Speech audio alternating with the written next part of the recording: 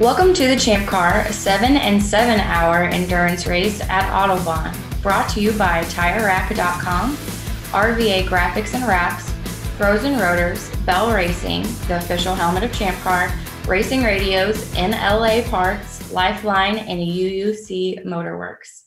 Also, I'd like to thank our class sponsors, Discovery Parts, Krispy Kreme, MoneyShiftRacing.com, and the Chandler School for the Sportsmanship Award. I'll jump right into COVID guidelines. So, for Autobahn, COVID guidelines if you are vaccinated, you don't have to wear a mask. If you're not vaccinated, please have that mask on um, and please be respectful for with anybody that you know chooses to wear a mask. Um, so, please abide by those rules. It is a little bit different here. We can't have any kind of cars on track um, at 8.30 originally we had it in our schedule that it would be at 8.30 green flag but we had to move that back to um, 8.45 to do a couple to get out there and do a couple of transponder check laps. So everybody drivers in your car and ready by 8.30 so drivers in and ready want you sitting there buckled in waiting to be waved out behind pace car. So we will release you behind pace car at 8.35 we want 10 minutes out there. We try to bring you all across the timing loop make sure you're hitting correctly. Um, so that's how we will start the race. We'll put you out full course yellow. All corner workers will be displaying those double yellow flags. If you are in the back of the line keep in mind we only show the green flag at start finish. So if you're in the back of the line you see those double yellows come in. It means you are racing so we will go green flag as close to 845 as possible. So cars out 835, green flag 845. Uh, we'll go checker at 445. So keep that in mind. Another thing that's going to be a little bit different here is we are doing the parc fermé. So that will be from 12 noon to 1. Um, that hour we have to bring cars off track, have the corner workers have a break, my crew have a break. Um, probably going to be pretty hot. So you guys might like, you know, having a break out there. 12 noon, we'll shut down pit road. The way that we'll do this is we'll display the white furl flag at 1145 at the start finish only. This is your reminder that we will close pit road at 1150. So 1150, I'm going to try to get the pace car out um, get you guys all bunched up. That way we can bring you in in a controlled way and have you guys off track at noon. They want engines off at noon. So um, we're going to put you behind the pace car. We'll bring you in. When you come into pit road, I want you guys to stay driver's right, stacked one single file um, behind that pace car. You'll get out. No work or fueling can be done on your car at that time. So keep that in mind. Um, when you see that furled white flag, you have five minutes to come in and do what you need to do um, before we close pit road. So um, during that time, stint times also reset. So keep that in mind. I get that question a lot whenever we have a parc fermé. Um, and also, we do go back green at one. So try to be back at your cars at 1245. Uh, we'll put you out there a little bit early to just throw that back to green at one. Uh, we'll jump into fueling rules. Everybody that comes into pit lane will see a champ car tent, and it'll either be, I think Thomas will be probably standing there. Um, stop there. Everybody must stop whenever they come into pit lane. We place a five minute timer on your car. This is to ensure that if you are fueling, it's that five minutes from pit in to pit out. Pit road speed is going to be 20 miles an hour. Whenever you stop, you get that timer. You'll continue down the drive lane, which is all the way driver's right. Whenever you get close to your pit box, please use the transition lane. Don't drive down 10 pit boxes when you get to your and then get to yours. Um, that's just a dangerous situation. So you got that timer, you're driving down, you get to your pit box, no one over the wall until the car has come to a complete stop. We will be watching that. Um, I have pit marshals that will be watching that. So please don't do that. Um, like I said, it's a five minute minimum for fuel stops. Um, if you are not fueling, you just do what you need to do and you continue out until pit out that you didn't fuel. They'll take that timer and they'll send you on your way. Um, also, five people maximum involved in a fuel stop at a time. Most important thing during fueling is everyone over the wall must be in full fireproof gear visors down the entire time. We see that a lot. Pit marshals will yell a lot um, just because you guys hop over that wall. You're in the moment, you forget, you have it cracked. Even the driver that's being switched out, he must have that visor down.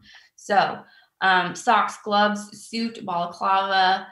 Um, the only exception is shoes. We will allow closed toed lace up shoes. Power to the car needs to be off.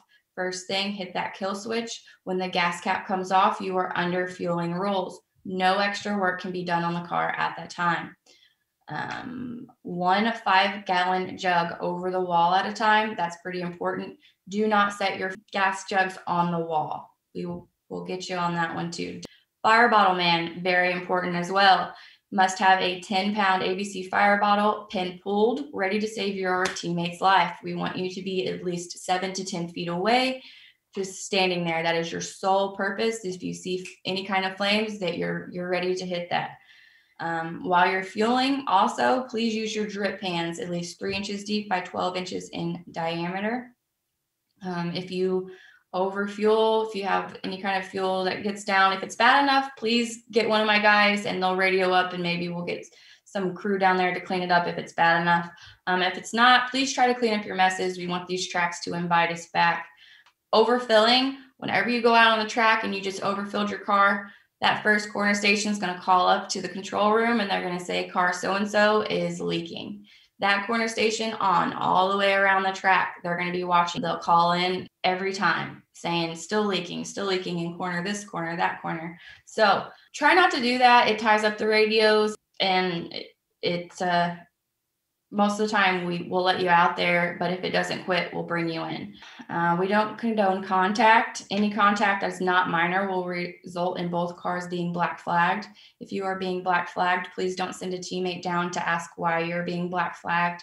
Um, we're bringing you in anyways. So if you get black flagged you're going to come into pit lane. You're going to stop at that tent where you get that timer um, and that is the Black Flag station for us. You'll sit there, they'll explain what you did wrong, what we're not happy with, um, and we'll either give you a penalty um, or we'll talk to you. Just depends on what's what's going on, how serious it is. It's the overtaking car's responsibility to plan and execute a safe and clean pass. So if you step out of line and you decide you're going to pass the guy in front of you, you better do it completely and safely. Um, if not, you'll probably get penalized if anything happens out there. So uh, Autobahn is doing hot pulls, so keep that in mind. Respect fire safety crews at all times. This that's their track, that's their home. They're there to save you guys. Um, no buzzing the EV crews, no making a pass right before you get to their trucks. Uh, we see that sometimes, and it's not appreciated. I will bring you in if they feel unsafe. Um, they are very, very good at noticing what car and what car number just like that and and we will find out about it. So please respect the emergency crews out there. So we'll go full course yellow if there's anything major out there. Um, we'll put the pace car out and bunch you guys up. Please if you are out there and we the pace car goes out and you don't have cars in front of you, please catch up to the pack. We're trying to bunch you guys up out there to make a safe situation for the EV crews to work. As the as the pack goes around, that's when they have the most time to just freely work and not have to look over their shoulder. So that's why we do that. Um, so make sure that you guys bunch together. Don't go over your two-hour driver stint limit. So let's go over flags. We go we operate by the line of sight rule. Whenever you see a corner station displaying that flag, you are under that condition. It's not race up to that station and you are under that condition. It is when you see that flag, that's what you should be doing and abiding by. So the flag that we will see the most is the yellow flag. Yellow flag, absolutely no passing. You see that flag, don't pass any kind of cars. You will see the flag, pass the station, pass the incident, come to the next man station and not displaying a yellow flag, and that means you are back to racing. So, standing yellow, we ask that you drop your race speed to 70%. So, there's something that happened, maybe it's offline, off track. Um, drop that race speed for a standing yellow to 70%. You see a waving yellow, there's something more major, maybe it's in the racing line. Eyes up, drop that race speed to 50%. It could be a bigger problem. Um, so, yellow flags, no passing. Uh, I will hand out penalties for any kind of passing under yellow violations. Um, red flag is the flag we hate to use the most. It means something serious is going on out there. If you see a red flag come out, make sure that you pull off drive line so the emergency crews can get past you quickly. Um, preferably in line of sight to a corner station so that we can communicate with you guys out there whenever we go back to a yellow green. We'll put the pace car out after a red flag in front of the leader, and then we'll slowly get you guys circulating to go back green. But red flag, very serious. Uh, make sure that you guys come to a controlled stop so that those emergency crews can get out.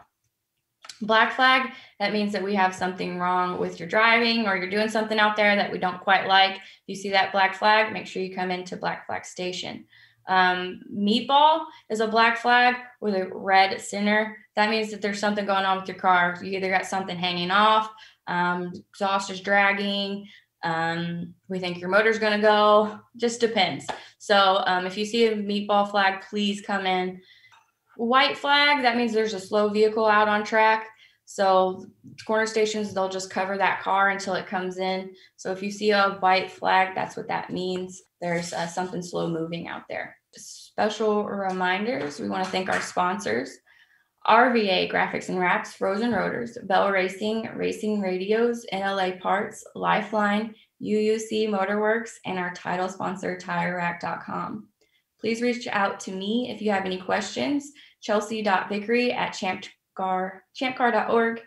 And as always, thank you guys for racing with us. We know you have options out there, and it means a lot to us at Champ Car that you continue to support and make this club what it is.